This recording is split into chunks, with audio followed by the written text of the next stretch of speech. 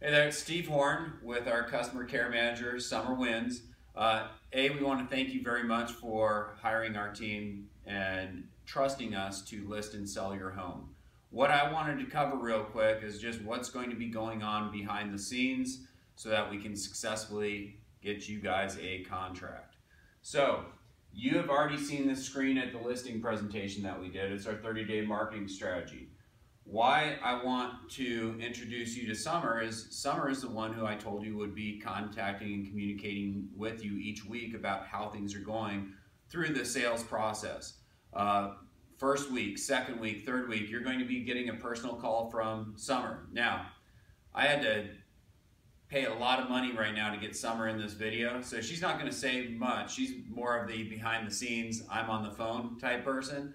But Summer, how often are you communicating with our clients?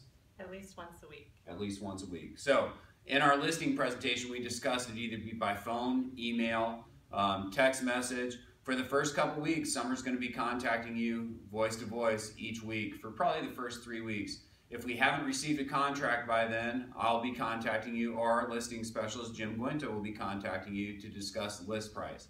But all of these things are going to be run by Summer.